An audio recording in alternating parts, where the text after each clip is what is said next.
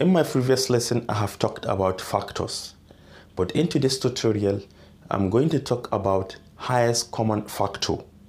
This highest common factor is that highest factor that two or more numbers have in common. When it comes to factorization, it is very important to know your highest common factor. Suppose we want to find the highest common factor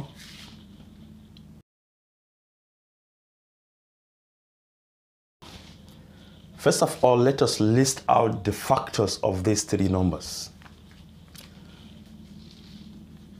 Factors of 9 are all those numbers that can go into 9 without remainder. 1 can go into any number, 2 cannot go into 9, but 3 can go 3 times, 4 cannot go, 5 cannot, 6 cannot, all these numbers cannot go except 9. So 139 are said to be the factors of 9. Then for 12, those numbers that can go into 12 without remainder, we have 1, we have 2 because it can go 6 times, 3 can go 4 times, 4 can go 3 times, 5 cannot go but 6 can go 2 times. Once you reach half of that number, the next number will be the number itself, 12 for 18 1 can go as well 2 can go 9 times 3 can go 6 times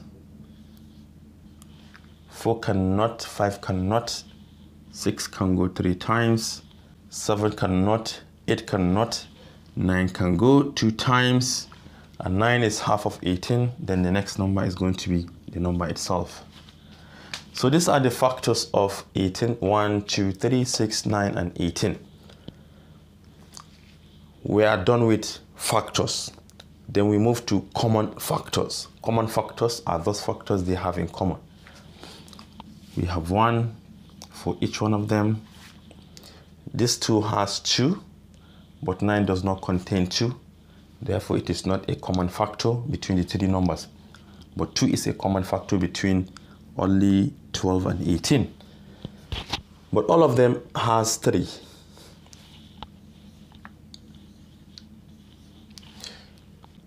apart from these two numbers 1 and 3 they do not have any other number in common. So we stop here. We have found the factors we have found the common factors. Then our next task is to find the highest common factor.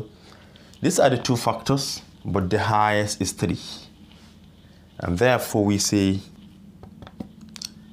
the highest common factor of 9, 12, and 18 is 3.